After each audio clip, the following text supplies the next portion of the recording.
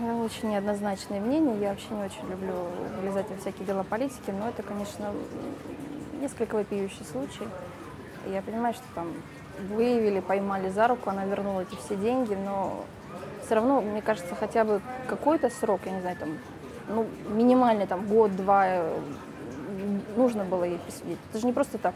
Взяла, вернула, какая-то ответственность должна быть. То есть сейчас любой посмотрит и скажет, я тоже могу взять и вернуть, и мне ничего не будет. Ну, как-то. Не знаю, что еще сказать в этом.